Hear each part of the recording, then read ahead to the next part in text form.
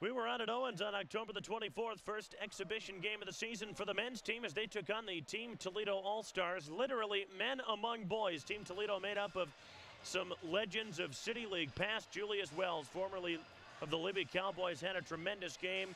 24 points scored inside and out. Some nice pieces for an Owens team that is really rebuilding this year, especially in the backcourt. Derek Jamerson, 25 points. Tyree Searles, 24.